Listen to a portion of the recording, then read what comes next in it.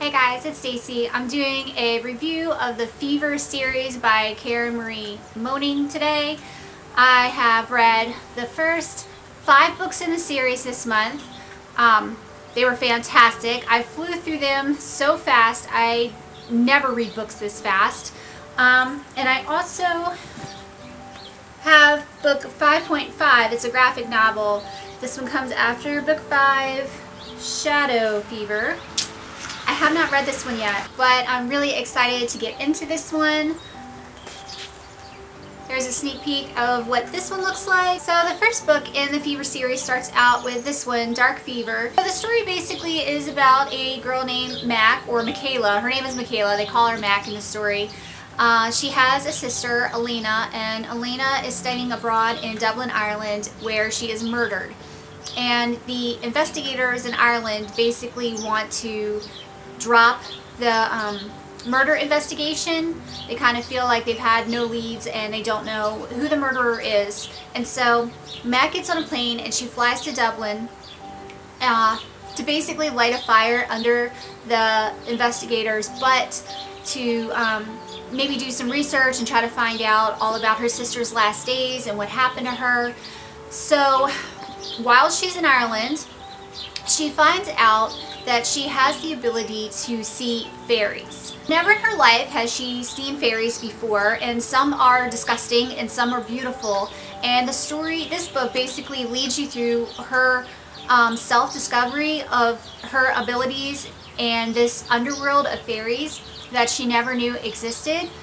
She ends up meeting a man named Jericho Barrons who owns a bookstore in Dublin and she basically teams up with him to try to figure out the mystery of her sister's murder and along the way she finds out more clues about herself and what is going on with the fairies.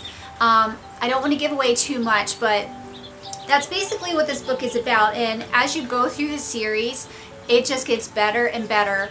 Uh, Mac's character goes through this huge transformation. So how she's described in the first book is not the person that she is in the fifth book at all. So if you're reading this and you're kind of annoyed with Mac, stick with it because I believe that she was portrayed to be to this extreme so you can see her transformation move throughout the books. Um, I really enjoyed it. I enjoyed seeing her change and grow throughout the story. So yeah, please don't let how she is in this book bother you too much.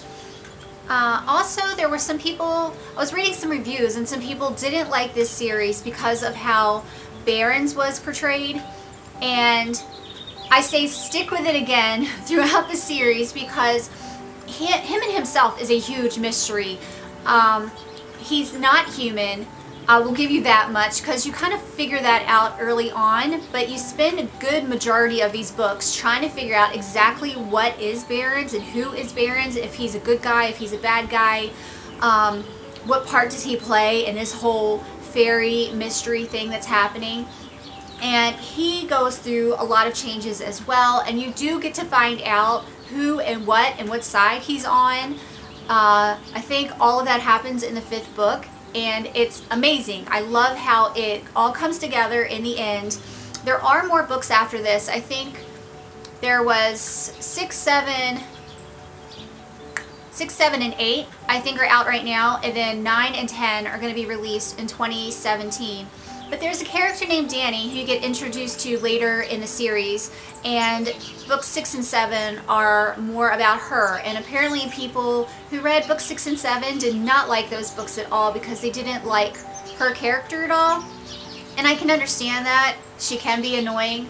Uh, but apparently the books veer back to Mac and Barrons' storyline in books 8, 9, and 10. I loved these books so, so much. They were incredibly fast-paced. It made me just keep wanting to turn the pages and keep reading chapter after chapter because it felt like every chapter ended on a cliffhanger and every book definitely ended on a cliffhanger if I were reading these books as they were coming out, like once a year, it would make me crazy because I would not have had the ability to wait for the next book to come out. Yeah, I highly recommend these books if you like paranormal, paranormal romance. Um, some parts were a little bit scary, some parts were a little bit gory. throughout the series. Um, I don't think this is a book for teenagers.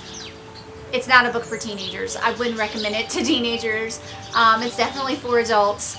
And also, if you liked the Highlander books that Karen Marie Moning wrote, you would like these books also because some of the Highlander characters that were in those books come into this books. The worlds are interconnected. So you'll recognize some of the names and get to see some of the characters from the Highlander books in here, which that was really fun to see because I did read all of those Highlander books as well. I really enjoyed the ending. I appreciated how it was done. I felt like the ending, you know, I was happy with it. I was happy with how everything was wrapped up and what happened with all the characters. It, it works out well for me and that's a hard thing to do. I have issues with a lot of book endings and this one was one of my favorite book endings. If you've read these books or you're interested in them and you want to have a discussion, please leave comments down below. Um, and I guess that's all I have for this video and I will see you guys soon. Bye. And everybody's coming home from work right now. No, my neighbors are wondering why I'm on the porch filming a video. And the birds are fighting.